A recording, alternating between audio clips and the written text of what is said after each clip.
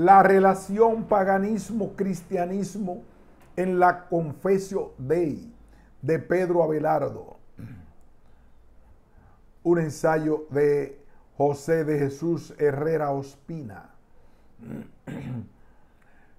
Resumen, este artículo pretende realizar un acercamiento hermenéutico a la Confesio Dei o Carta decimoséptima de, de Pedro Abelardo, teniendo en cuenta la relación paganismo-cristianismo.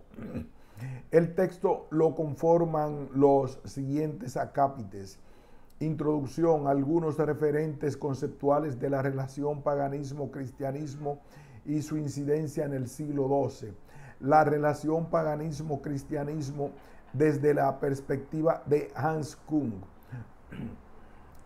la relación paganismo-cristianismo desde la perspectiva de Hans Kuhn, estudio hermenéutico de la Confesio Dei, donde se presenta la concepción de Abelardo sobre la relación paganismo-cristianismo.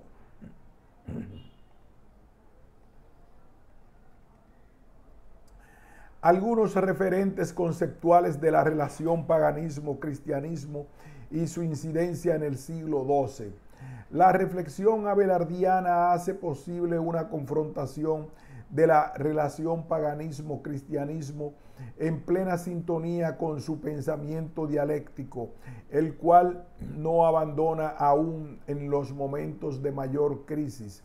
Es el siglo XII, una centuria atravesada por un problema religioso que confronta las mencionadas formas religiosas, las relaciones entre el paganismo y el cristianismo. Es de notar que toda expresión religiosa diferente al cristianismo era considerada pagana. Ahora bien, es menester afirmar que en la Edad Media, propiamente en el siglo XII, encontramos la condenación por parte del estamento eclesiástico de todo aquello que sea considerado pagano en el ambiente cristiano. Aunque el fin del paganismo y su condena para muchos historiadores tiene lugar en el siglo VI con la figura del emperador Justiniano, como se verá más adelante, cuando de manera radical quita cargos honoríficos a personajes públicos griegos, entre ellos los considerados herejes, genera el cierre definitivo de la escuela filosófica de Atenas y obliga a bautizarse a muchos paganos so pena de muerte. Paradójicamente el cristianismo del medioevo vive de acuerdo con ciertas formas de paganismo como la veneración de imágenes, reliquias, creencias en espíritus, magia, etc tradiciones todas ellas tomadas de la antigua religión de Roma y de las religiones celtas, tan importantes para entender el imaginario cultural de la Edad Media. Se entiende el paganismo como aquella forma de religión distinta al cristianismo y que se desarrolló principalmente en la cultura grecorromana el diccionario Norma Castel 1987 lo define así, nombre con que los antiguos cristianos designaban el politeísmo. Desde esta concepción los cristianos veían en otras religiones creencias que centraban su adoración a dioses y diosas, hombres y mujeres con poder espiritual y o político por ejemplo, el culto al César como hijo de la divinidad en la cultura romana. No obstante, en el, siglo XII ve una nueva forma de paganismo en la llamada idolatría del poder, en especial del Estado papal que permaneció durante todo el medioevo, que tuvo como centro de referencia la lucha de las investiduras y que tiene en el siglo XIII su esplendor con la llamada soberanía mundial del Papa y en el siglo XVI, su periodo más crítico con la reforma protestante de Martín Lutero. Sin embargo, no es a este tipo de paganismo al que se hará alusión en el estudio de la carta decimoséptima de Abelardo o Confesio Fidei, sino más bien con relación a la cultura, en especial con la mitología greco-romana, de la cual Abelardo fue un buen conocedor, junto con los acercamientos a la filosofía griega y su crítica a las herejías cristológicas. La relación paganismo-cristianismo desde la perspectiva de Hans Kuhn. Es necesario abordar, grosso modo, desde el lente de Hans Kuhn algunas de las relaciones paganismo-cristianismo que dieron lugar a que en el siglo eh, en el siglo XII fuera tan importante esta problemática para un pensador como Pedro Abelardo. Coexistencia, conflictos y cambios operados en la relación paganismo-cristianismo. Hans Kuhn 1997, es claro en afirmar que el mundo romano no se hizo cristiano de la noche a la mañana. La mayor parte de la población del imperio seguía siendo pagana en tiempos de Constantino. Todos los estudios modernos sobre la antigüedad tardía junto a la vida oficial hoy se estudia cada vez más la vida privada, ponen de manifiesto que cristianismo y paganismo, justo en Oriente, prescindiendo también de los muchos grupos y sectas heréticos, en modo alguno no se contrapusieron como bloques rígidos, sino que existían de formas simultáneas y entrelazadas en buena medida.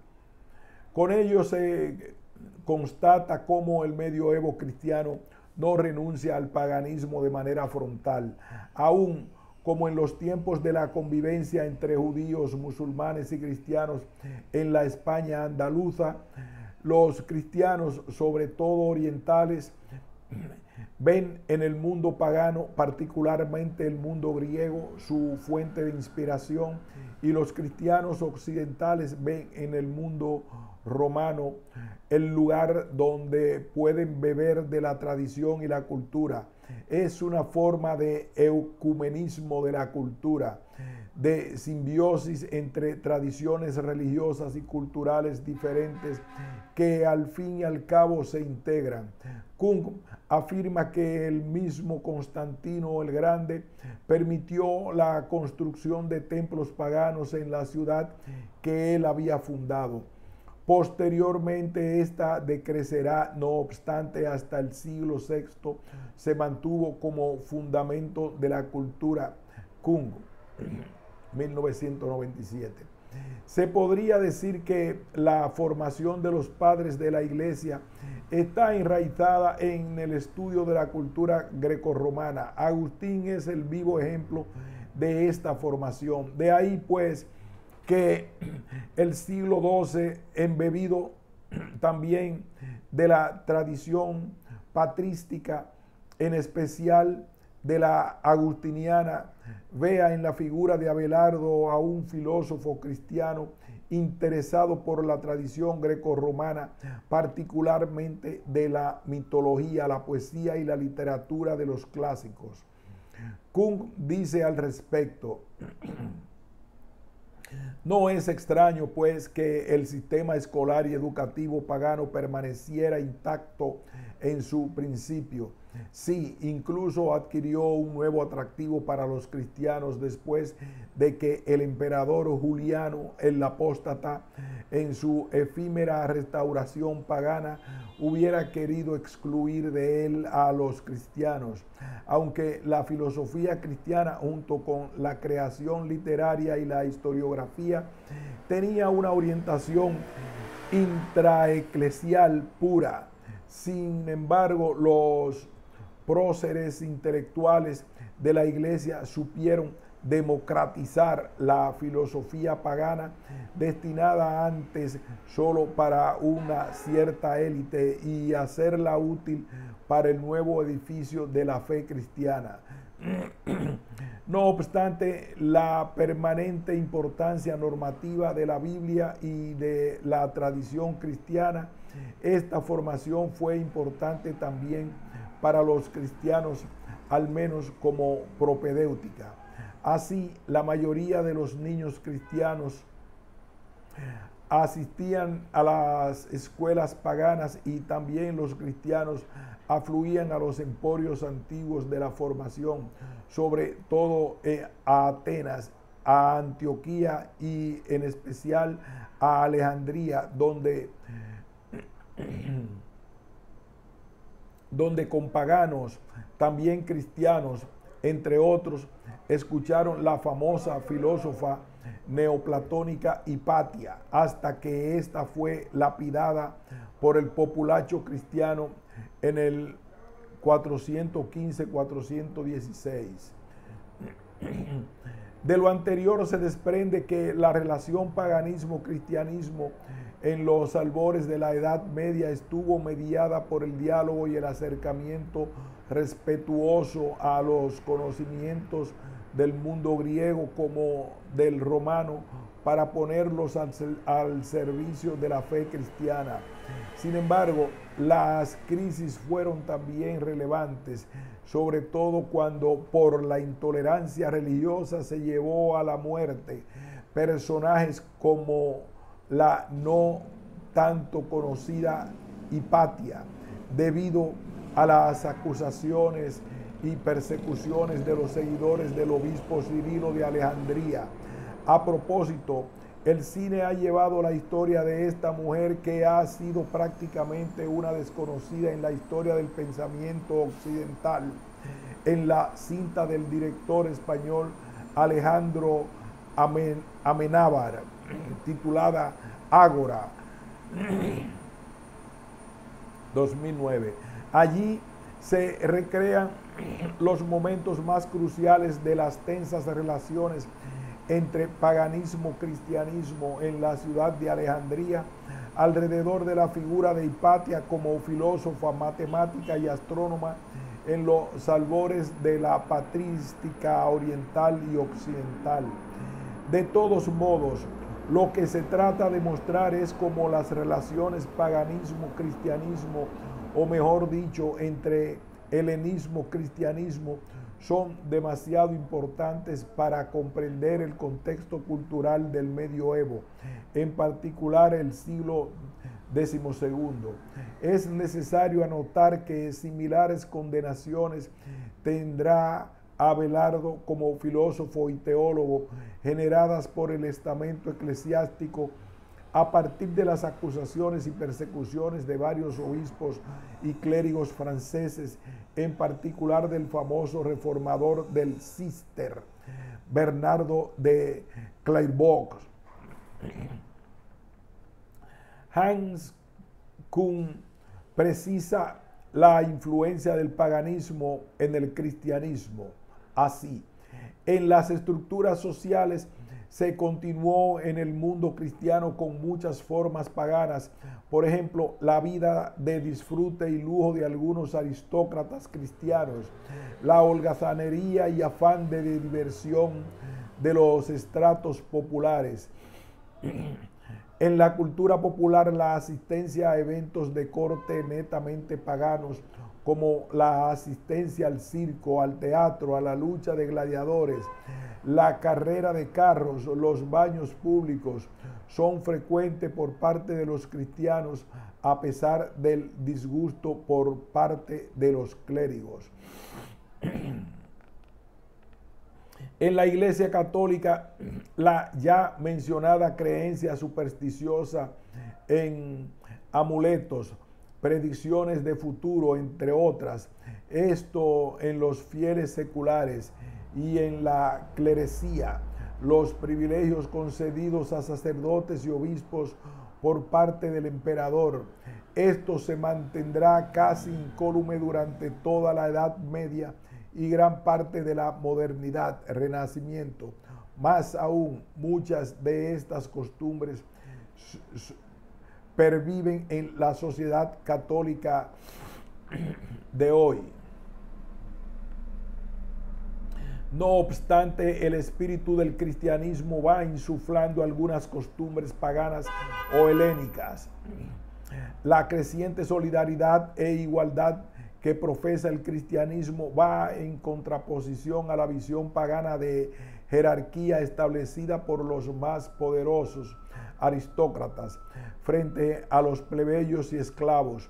A propósito, la carta de San Pablo a Tito es prueba de ese nuevo espíritu de libertad que se va, lanza en ristre contra la concepción esclavista pagana. Kuhn observa tres tópicos importantes. La concepción de que todos somos pecadores, de que debemos ser solidarios con los pobres y que todos esperamos la muerte de igual manera. La cristianización del tiempo y del espacio, las fiestas, las costumbres en el matrimonio y en los rituales funerarios fueron transformándose por el influjo cristiano. El calendario cristiano con la celebración festiva de los mártires y santos, las peregrinaciones a los lugares sagrados y templos que antes habían sido culto pagano. El cambio de la vida secular por una vida ascética representada en los anacoretas místicos y monjes. Esto conlleva también a un cambio en la misma práctica cristiana de la penitencia, ya que se pasa de la confesión pública a la confesión privada. Se debe esto, según Kuhn, indudablemente al crecimiento demográfico de la sociedad cristiana. Se pasan de pequeños se pasan de pequeñas comunidades cristianas a grandes grupos de bautizados. El espíritu cristiano de ayudar a los más pobres hizo que se tejiera una red social de instituciones para ayudar a los huérfanos, las viudas, enfermos, leprosos y ancianos. No obstante, este asunto también se convirtió en un factor de enriquecimiento de la iglesia, ya que la iglesia al convertirse eh, ella misma en la mayor propietaria de latifundios aumentaba ese mal principal de la economía de finales de la edad antigua en lugar de combatirlo, con lo que contribuyó en en medida nada despreciable a la miseria de las masas.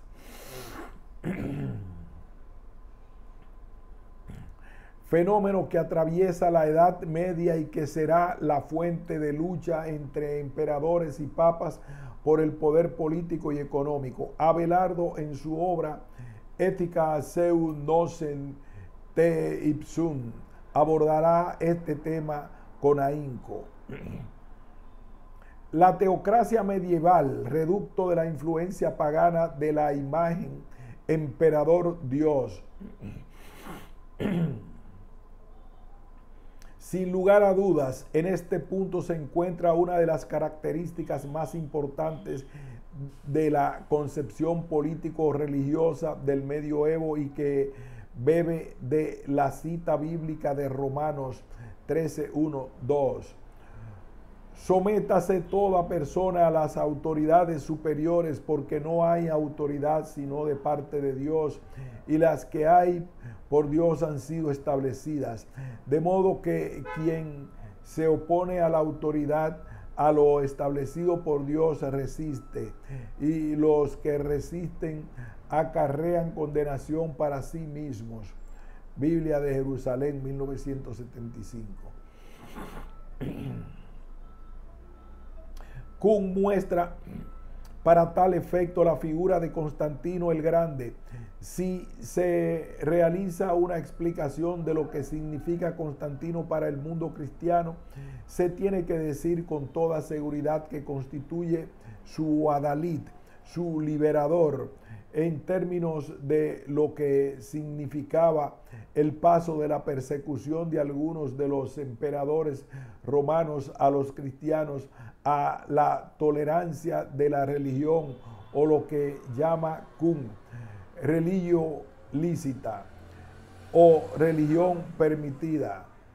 Constantino vence a su cuñado Magencio en la famosa batalla del puente Milvio en, en, el 312.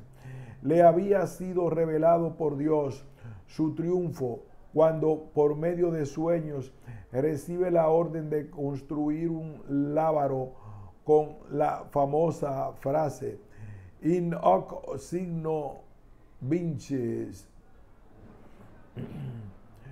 con este signo vencerás.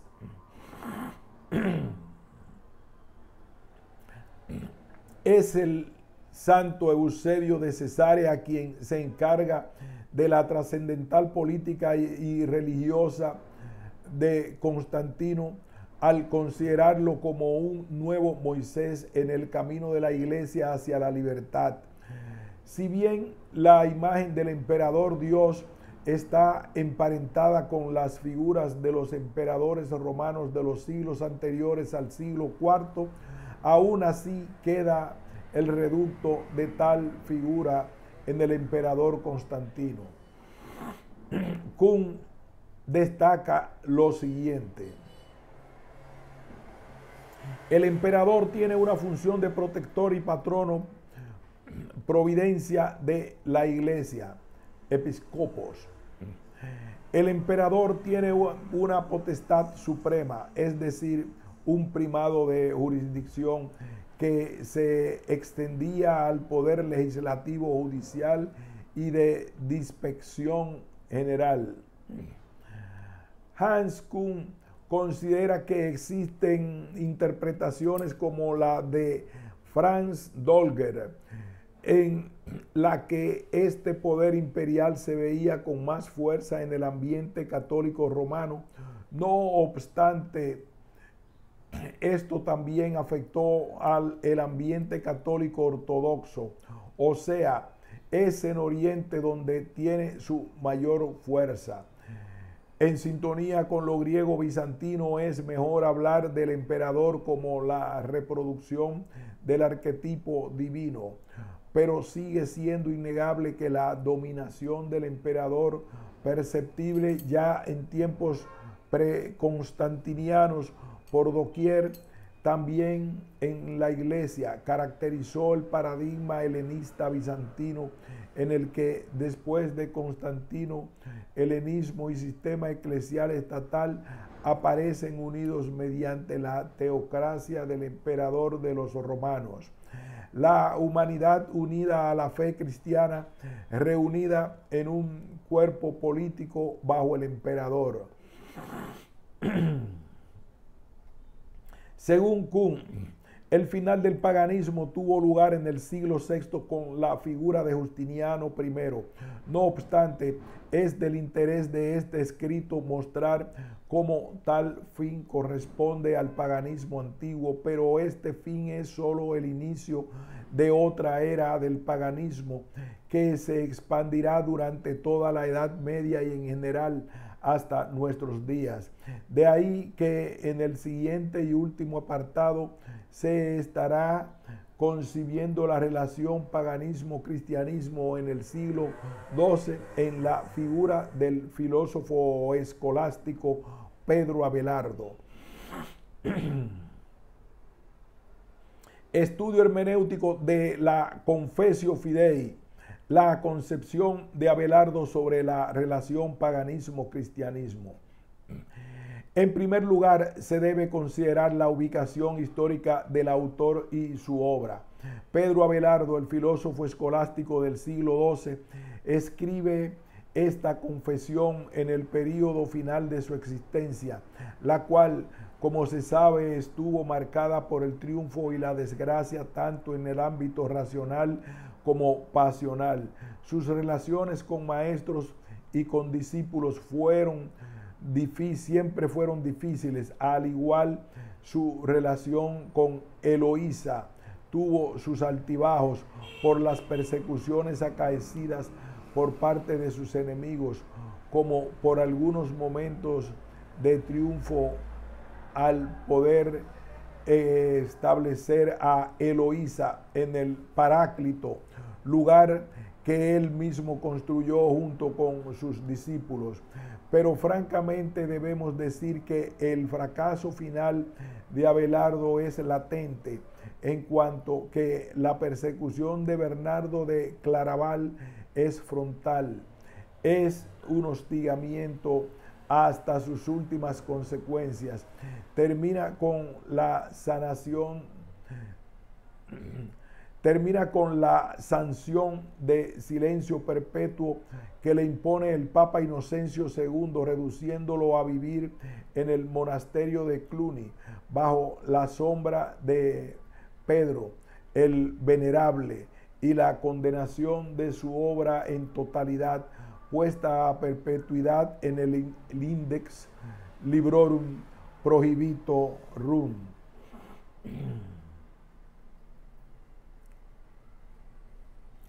Pero el interés acá no es mostrar la semblanza biográfica del personaje como si el interés mostrado hacia la cultura clásica y en particular el paganismo. Si bien Abelardo es un filósofo cristiano, de ningún modo se desinteresó por la filosofía pagana, es decir, por la filosofía griega aristotelismo moderado y por la literatura y poesía grecorromana, en especial Cicerón, Virgilio, Lucano, entre otros. Se tratará de hacer una traducción libre del texto original latino, por, por lo que se tendrá la citación en latín a partir de la obra de Migne.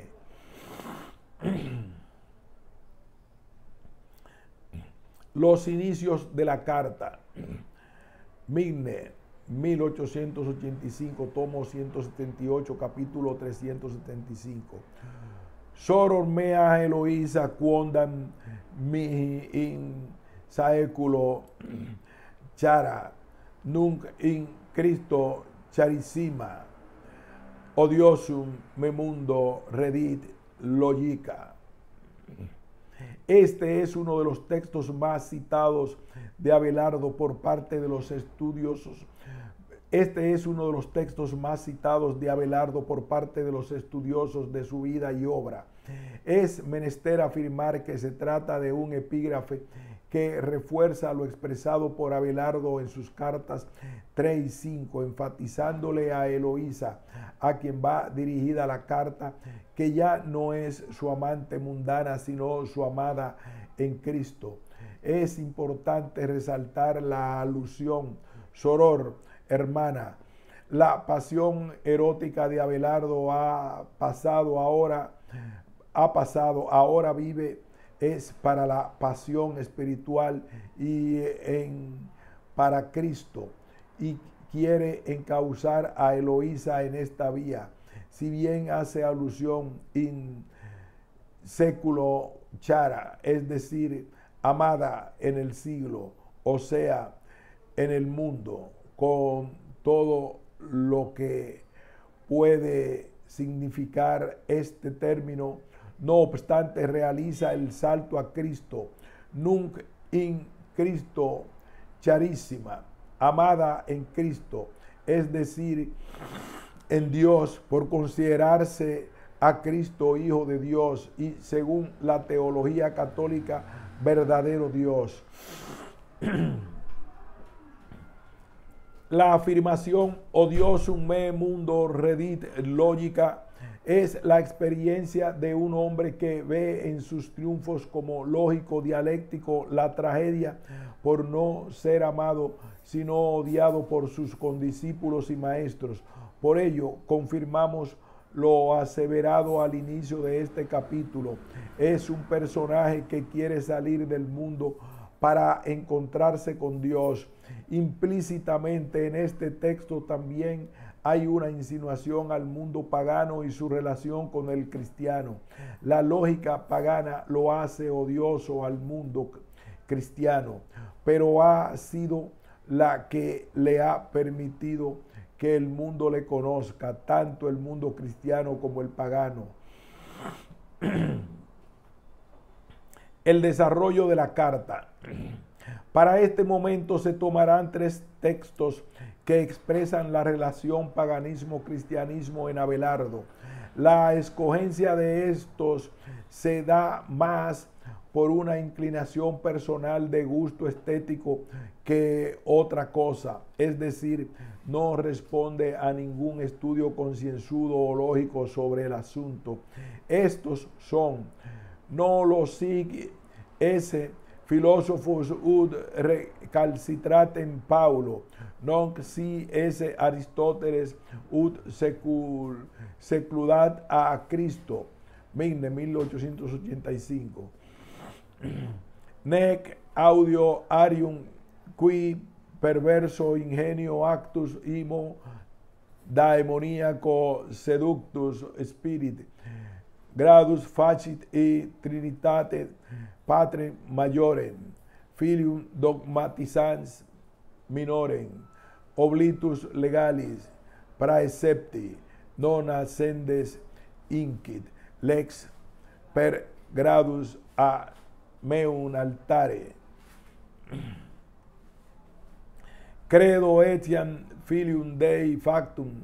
Esse filium omnis unam que personam ex duabus et in naturis duabus consistere, qui post completan susceptae humanitatis dispers, dispensationem passus est et mortus et resurrexit et ascendit in coelum venturesque es judicare vivos et mortuos. Migne 1885. En estos tres textos encontramos muy claramente la relación paganismo-cristianismo y a Abelardo defendiendo la posición cristiana de cara al paganismo. Así, no quiere ser filósofo abdicando de Pablo ni un Aristóteles contrariando a Cristo. Extrañas palabras para un filósofo que dedicó gran parte de su vida a la enseñanza del método escolástico. Cuestión.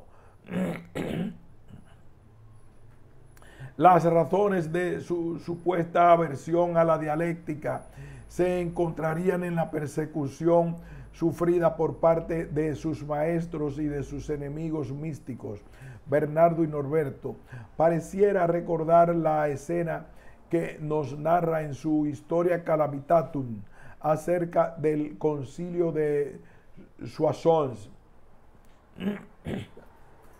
donde le es condenada la obra de Unitate Trinitate Divina o también es posible que haya tenido una experiencia similar a la que ha acompañado a muchos filósofos y teólogos medievales. El más conocido será Tomás de Aquino, quien al final de su vida renuncia a escribir una letra más, considerando que todo lo ha escrito, que todo lo que ha escrito es pura paja y necedad, aunque esta última consideración no es muy convincente en el caso de Abelardo.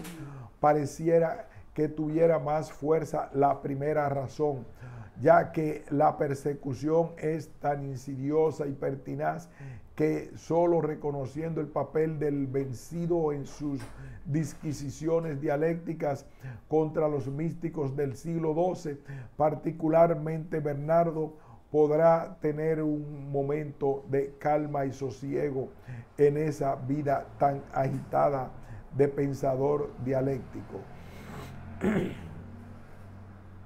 No escucha a Arrio, quien, inspirado por un ingenio perverso y seducido por un espíritu demoníaco, hizo grados en la Trinidad. El Padre es mayor, el Hijo es menor, olvidándose del principio legal. No asciendas por grados al altar de Dios.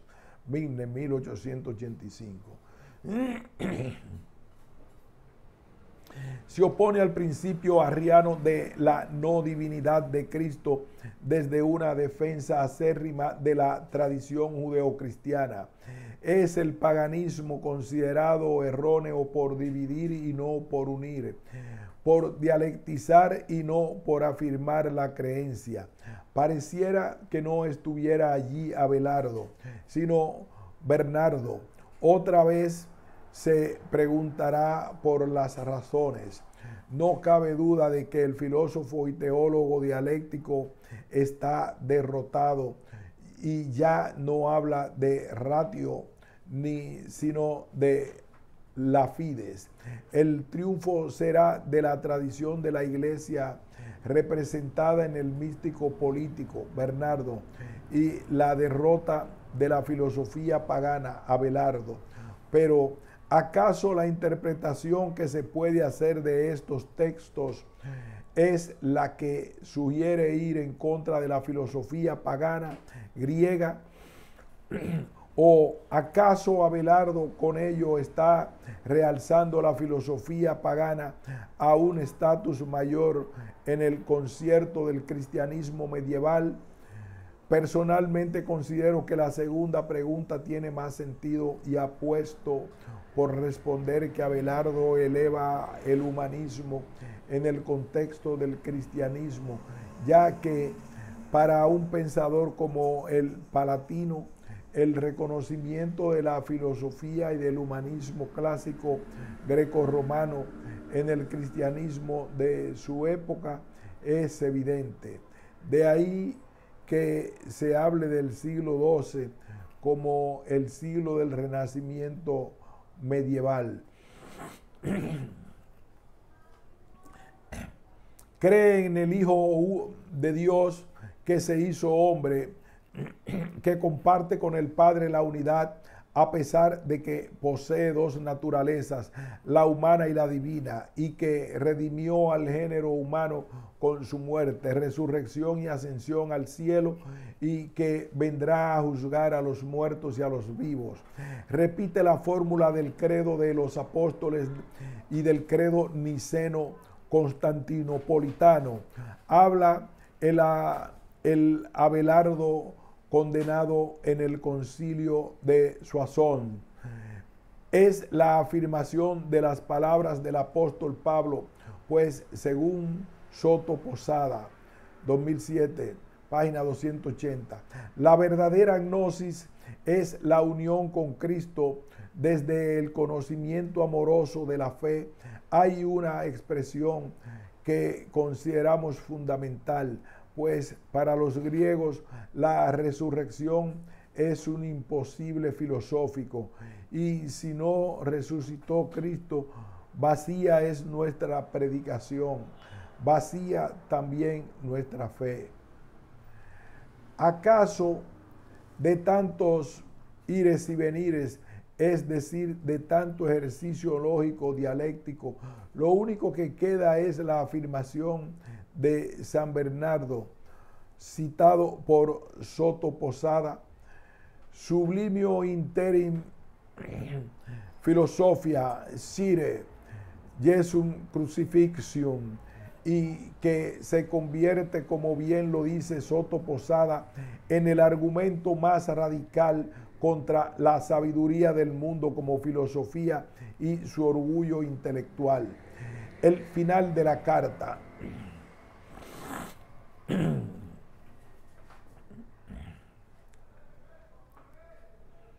La relación paganismo-cristianismo en Abelardo llega a su culmen.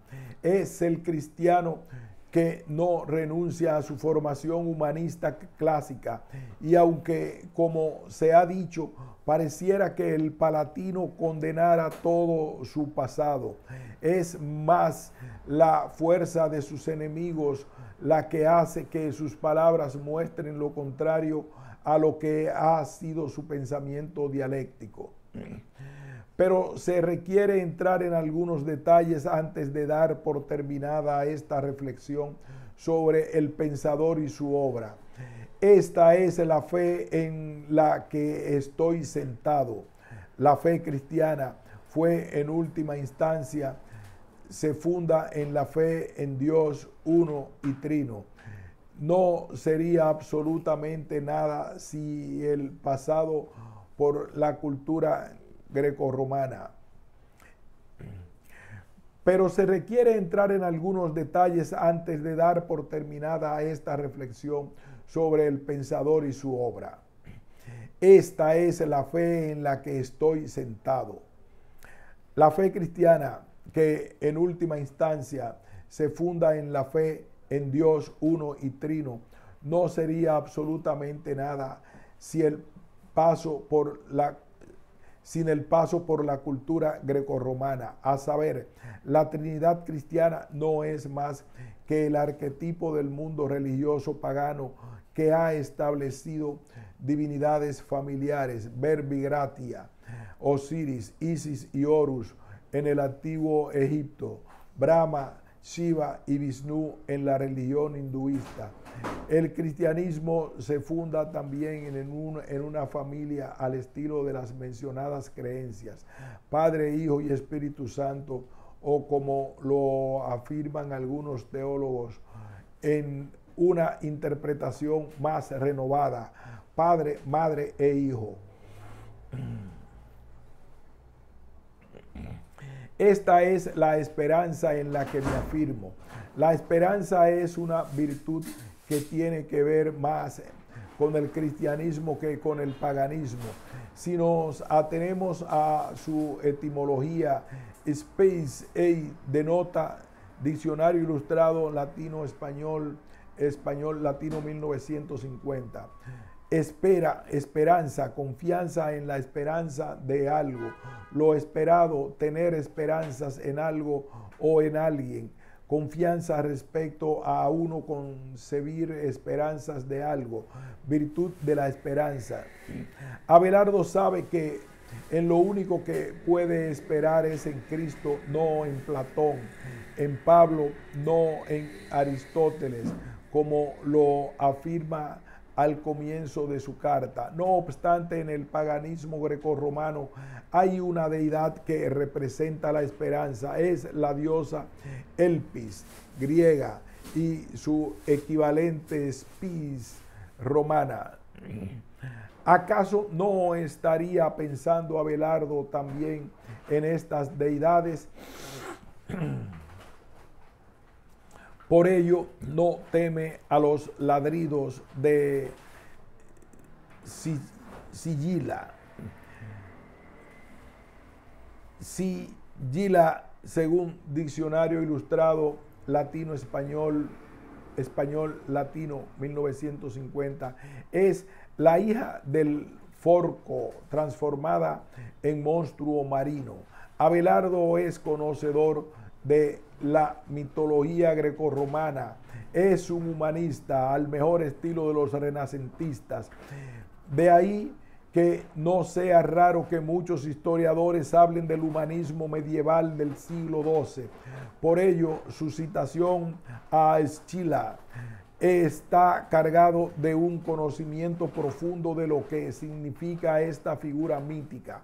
No temer a sus ladridos es la traducción literal, pero podría traducirse libremente como no temer a las amenazas de destrucción por los afilados dientes de las fieras. Esto sí se tiene en cuenta que la imagen que se conoce de Chila es la de una mujer encadenada a siete feroces fieras que la protegen con afilados dientes listos para desgarrar.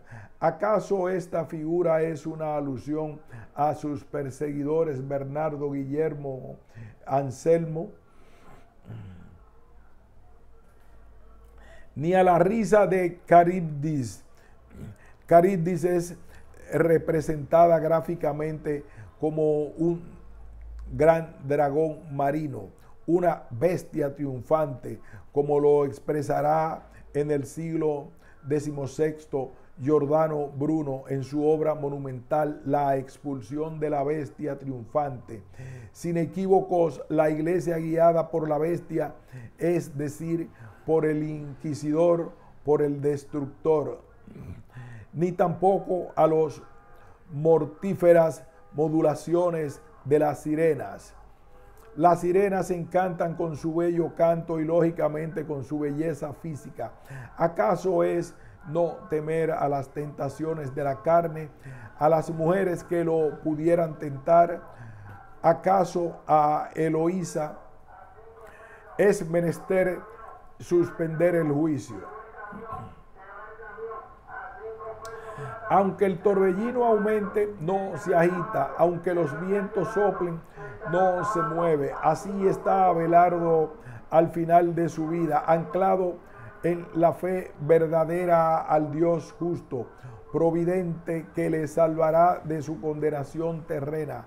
Aunque condenado terrenalmente por los hombres, llegará a ser libre espiritualmente por Dios bella relación entre paganismo, cristianismo. Está fundado sobre piedra firme.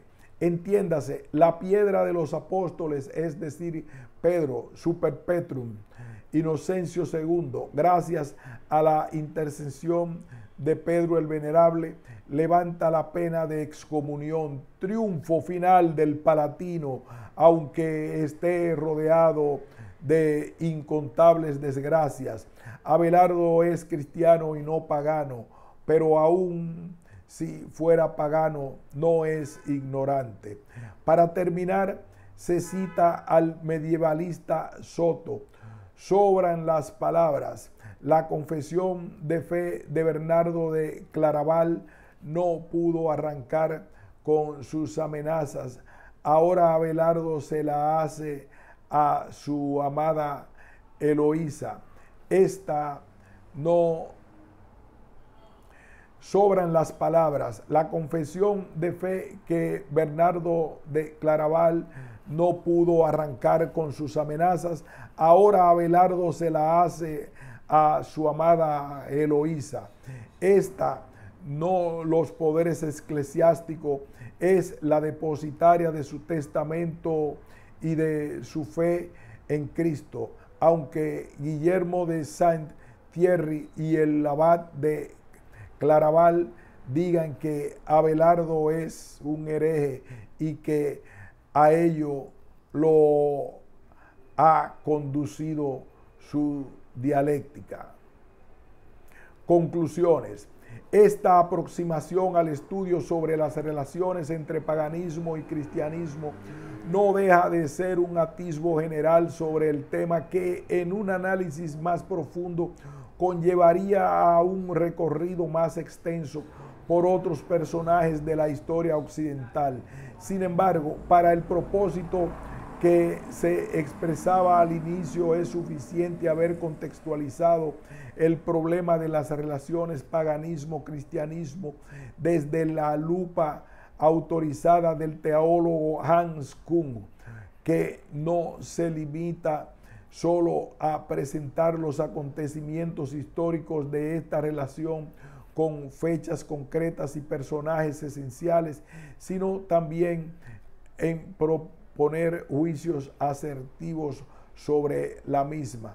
Finalmente, hacer de Abelardo nuestro adalid para la reflexión sobre las relaciones entre paganismo y cristianismo en el siglo XII no es un capricho, sino más bien el reconocimiento de la importancia de este pensador escolástico para el concierto de la filosofía medieval.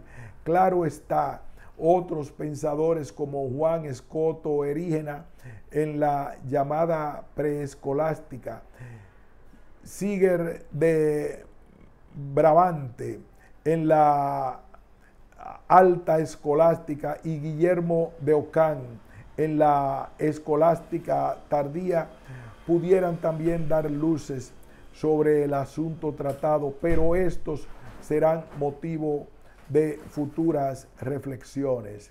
Fin de este ensayo.